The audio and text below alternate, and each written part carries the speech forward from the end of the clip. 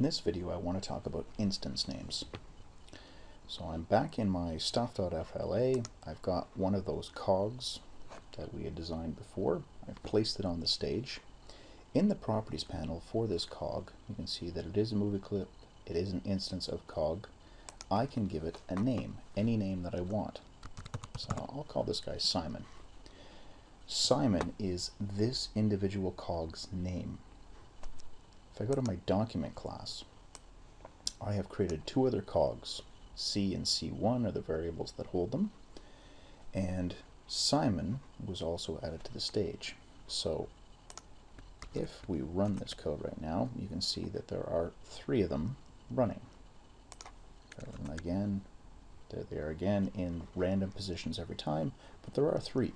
One that I put on the stage, two that I created in my code. I don't know which one's which at this point, but there are three of them there. In my code, if I want to control Simon, that one, we can say that Simon dot alpha equals 0.5. Just going to make him easy to pick out.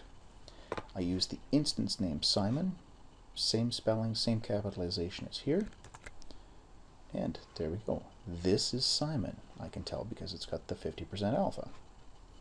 Now, these other two, I have a choice here in my code. I can use the variable c. We added them to the stage using the variable c and c1. Or we can actually give them an instance name. We can come down here and say c dot name equals John and c dot c1 dot name equals Jen. Okay, so we have oh, use lowercase names here. So I have John, Jen, and Simon. Three different instance names for three different objects. The name property points to the instance name or creates the instance name for that variable. We have a method called getChildByName so I can come up with a new variable here, uh, nc for new cog equals this dot get child. There's the code complete child by name that's the one that I want. And inside here I'm going to get the one called John.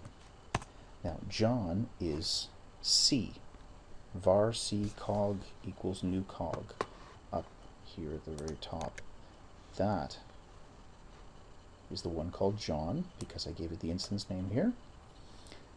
This line of code says, go onto the stage, find the thing with the name John, put it into the variable nc, new cog.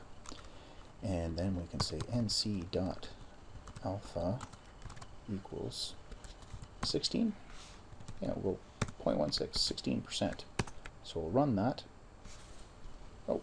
Got an error here.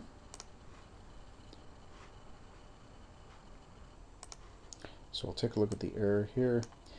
Implicit coercion of a value with static type flash display display object to a type unrelated type cog. So basically what this is saying is this method right here, get child by name, is giving us back a display object. The class is display object, but we're trying to put a display object into cog.